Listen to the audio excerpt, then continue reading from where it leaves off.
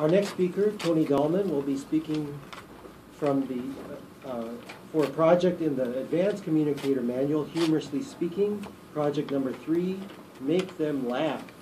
Make Them Laugh. Tony Dahlman, an ode to lecterns. An ode to lecterns. Tony Dahlman.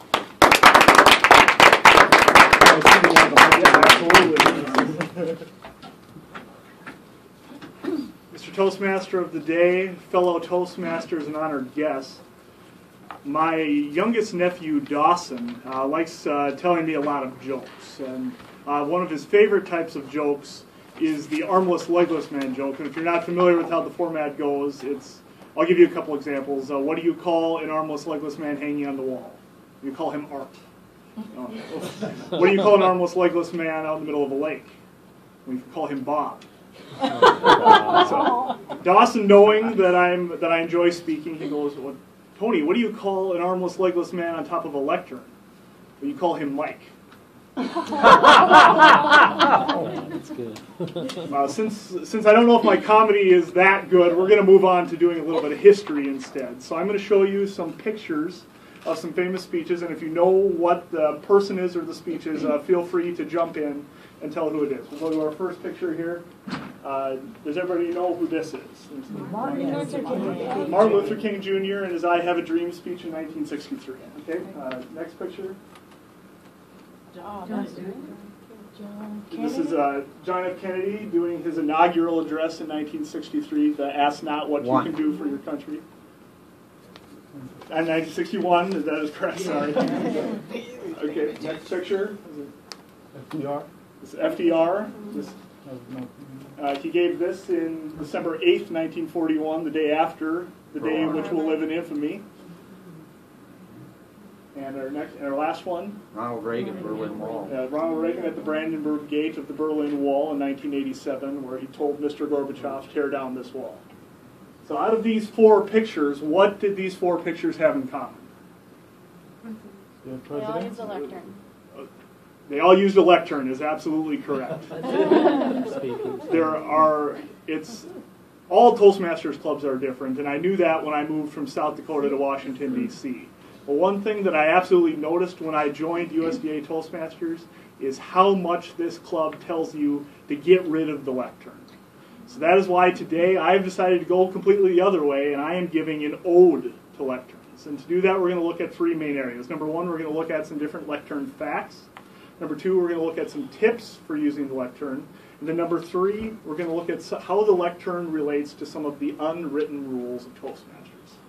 First area we're going to look at is lectern facts. I know I have been letting this known, but uh, during my freshman year in college, I conducted a failed experiment which was known as taking two semesters of Latin. And despite the D plus and the D that I got in those two semesters and the conscious effort that I made to completely try and forget all Latin facts, some of it has still uh, remained in my mind. Lectern comes from the Latin root lectus, which is the past participle of to read in Latin. That is why we get the word for lectern, that a lectern helps us to read. It is also the same root that we get lecture from. So basically, a lectern helps us to read. Traditionally, lecterns have been used to hold religious texts, uh, most commonly the Christian Bible or the Jewish Torah. So basically, it's uh, was a it was a stand with a slanted top that would allow you to help you to read. Today, the lectern has many many different uses outside of the religious sense, and basically, it is any reading desk with a slanted top.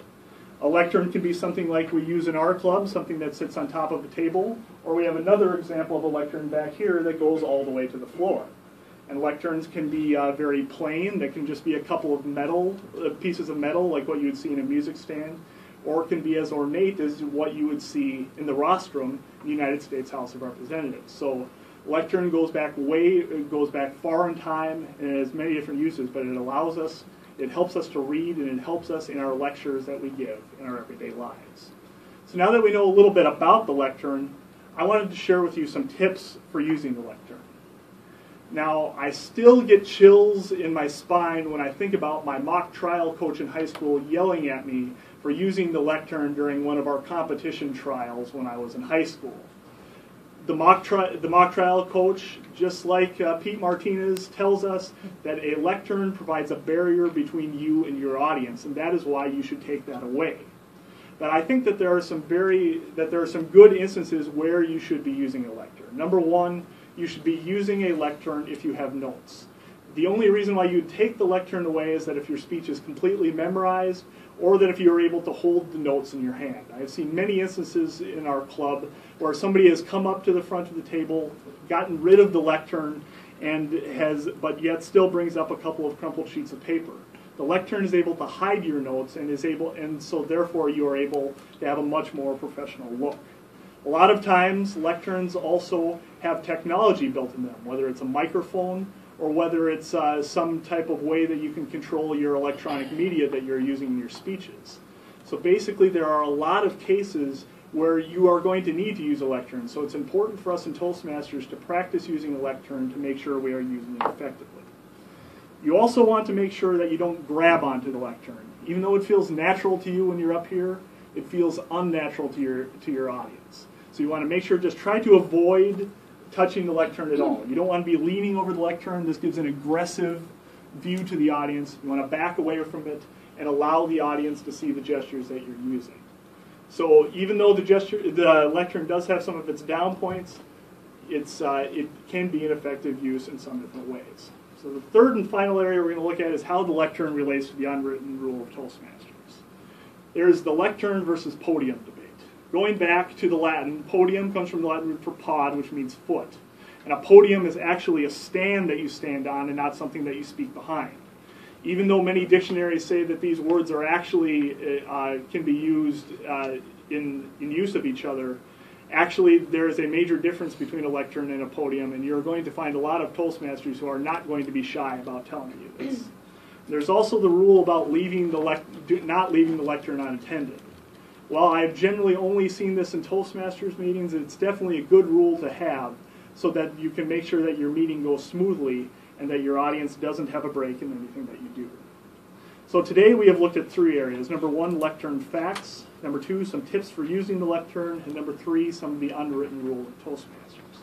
So today I hope I have told you some different ways that you can use, uh, use a lectern and the different ways that it can be used effectively.